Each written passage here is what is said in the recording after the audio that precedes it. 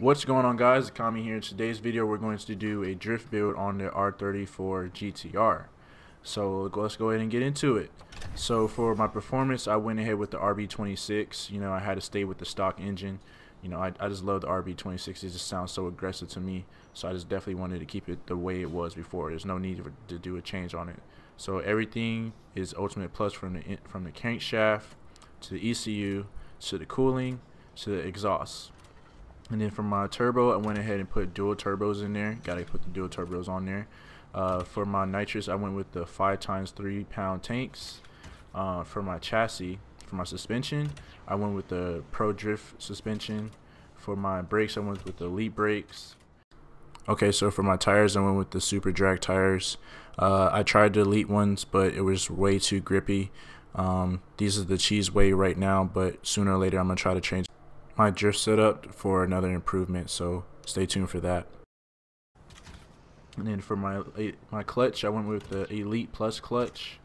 For my gearbox, I stick with the six speed. Six speed is definitely the most easiest one for me right now. Um, it's easy with the transition, and I just I just easy with the transitions from different cornering, so I feel like that's the most easiest for me.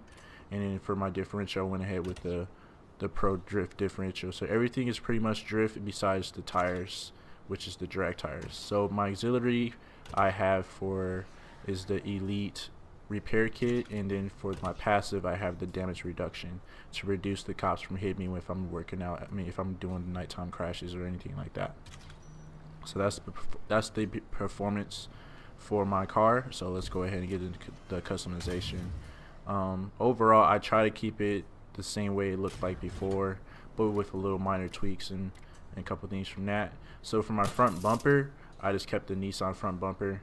Um, has a little boxy type uh, vibe to it, but I still like it. It looks still pretty, pretty aggressive. There's not too much customization in here that I really felt that was appealing to me. I mean, I could probably do this one, but I don't really like it that much. Um, yes, I don't really like it. Uh, so for my front lip, I kept with the carbon splitters. I like that one the most. Um, I didn't put no canards on here because I didn't really like the canards on here. I stuck with the front hood. No changes on that one. For my front fenders, I kept the Nissan one. Uh, other everything else looked kind of weird. I just didn't like the like the way those front fenders had looked. Period. So I just kept it as the stock ones. For my side skirts, I kept the the Nissan. There was no need to do any changes on those as well because I didn't like it. It didn't match neither the body line for the front or the rear fenders, so I just kept it as that. And then for my rear fenders, I kept the uh, the Nissan fenders as well. Gave me a little bit of uh, um, space for my uh, rear tires, so I just kept it like that. I blacked out the tail lights for my rear bumper. I kept the Nissan as well. Uh, everything else kind of looked identical, so I just kept it as that one. Uh, for my diffuser, I went with the carbon lit uh, diffuser as well. Uh, this one I like the most, so I just it looked pretty aggressive to me, so I just chose that one. And then for my exhaust tips, I chose the Speed Hunter exhaust tips. Uh, solid black exhaust tips, I definitely like those. Matches the the color with my the rest of the car. And the spoiler, I kept it as the stock spoiler. Can't go wrong with the stock spoiler. It just looks pretty good to me. And then you, you know I got to represent my name, Okami. So that's that's uh, pretty much the customization portion. Uh, for my front, for my wheels, I went ahead with. I think I'm gonna go ahead and add the the Toyo tires on here uh, for the one time, one time. Even though it's not going to show in the video, but go go ahead, go ahead and put those on real quick. You know, I love me, I love the Toyo tires. They, they look the best to me. I, I do like their brand, so of course I had to represent. And then for my rims, I went ahead and just kept with the Nissan uh, Nismo LM GT4s and I went ahead and blacked those out with the borderline looking with the red matching with the color of the car. So that's the customization portion. If I haven't already mentioned, the headlights are blacked out as well. So for my coloring, I decided I designed this myself.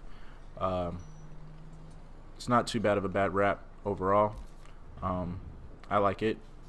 Doesn't look too too bad at all, in my opinion. Uh, Got to represent my uh, the gang, the Wolf Gang, and whatnot in the back. It is a Japanese car, and I am currently living in Japan. I haven't told you guys that, but I actually do live in Japan right now. I'll be leaving next year, but uh, overall, it's my favorite. It's by far the best country that I've been to so far. Um, and then at the top, build and destroy. So uh, overall, I just love building cars and, and seeing how they work. But this has been a good car that I definitely enjoyed using. So, okay, so for my nitrous, I went ahead with the the red nitrous, red smoke, and air suspension on there. And then for my stance, everything is to the far left. Uh, put my camber notches to a little bit to the right, and my rear camber to the to the uh, right as well. Like I said, I feel like the the stances doesn't affect the way you get your drift angles, so um, take that with a grain of salt. But I definitely don't see any changes from, from how I have it, and this is how my baby sounds. Sounds just like an RB26, to be honest. Sounds pretty nutty and aggressive. I like it. Alright guys, so that is the customization. So uh, in the next part, I'm going to go ahead and give you guys like a little miniature slideshow of what it looks like. And then after that, we're going to go ahead and get into the live tuning.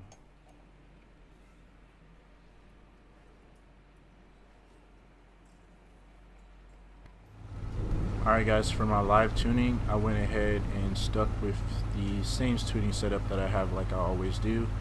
And since the update, it looks kind of different compared to before, but I definitely like it. it. Looks looks more appealing to me. I just like the way the UI is set up. So uh, let's get into the steering sensitivity is all the way to the right. Uh, for my downforce is all the way to the left.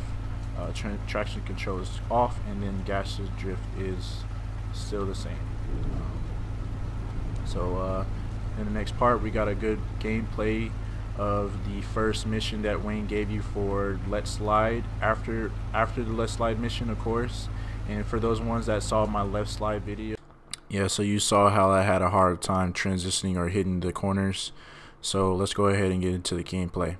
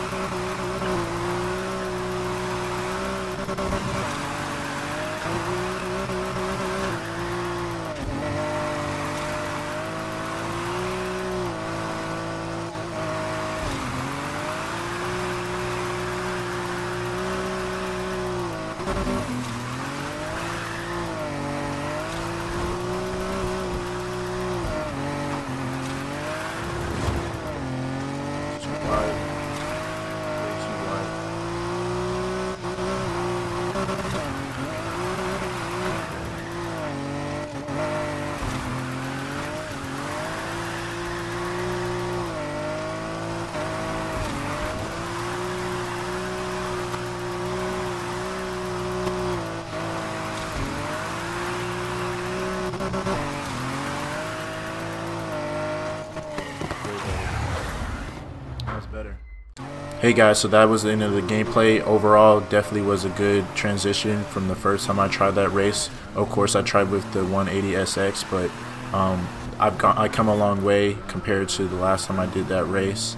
And I'm pretty sure if I use the exact same car, it would be different. But that was that's the end of the video. Um, I hope that you guys enjoyed. I'm gonna come at you guys with a different setup, so I hope that you stay tuned for that but and I hope you guys enjoyed. Make sure you smash that like button, comment, subscribe, share to your friends. And until next time, guys, I'll see you guys in the next video. Alright, guys, peace out.